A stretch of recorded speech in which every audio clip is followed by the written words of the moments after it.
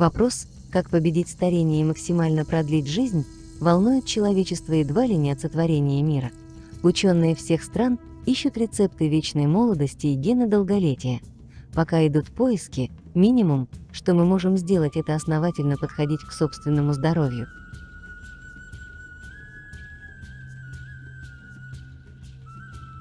Прежде всего не переедать, продукты и без того стали хуже от большого количества удобрений, к тому же все органы человеческого тела страдают от приема излишней пищи.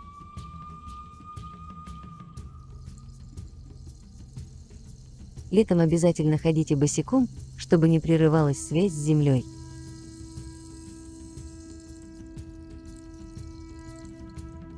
Научитесь правильно отдыхать. День создан для работы, а ночь для сна. Чтобы быть здоровым и надолго сохранить работоспособность, ложитесь спать не позднее 10 часов вечера и вставайте в 5 или 6 часов утра.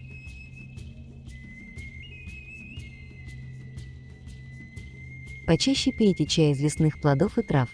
В них чистота и источник здоровья. Хотя бы раз в неделю ешьте вареную пшеницу, запивая ее чистой водой. Таким образом вы будете постоянно очищать свой организм, а значит, поддерживать в себе жизненную силу.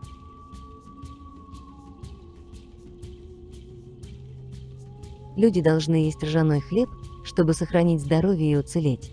В наше время рожь имеет большое значение. Уменьшайте содержание жиров.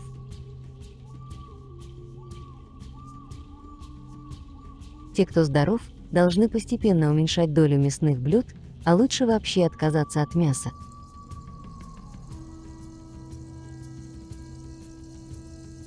Больше двигайтесь и много работайте.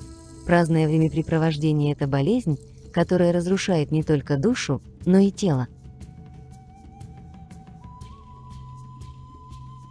Вечером перед сном обязательно мойте ноги, а лучше, если позволяют условия, принимайте душ.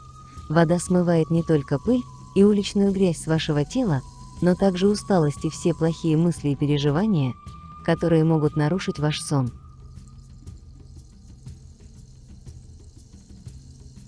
Не мойтесь очень горячей водой. Почаще пользуйтесь домашним мылом и природными средствами, которые не вредят здоровью.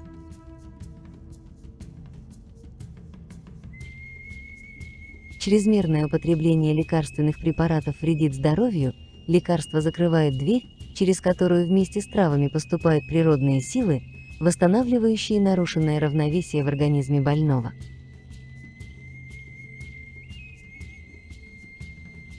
Разрешайте детям летом играть везде, где они захотят. Пусть пачкаются, бегают, почаще ходят в лес. Зимой это защитит их от болезней.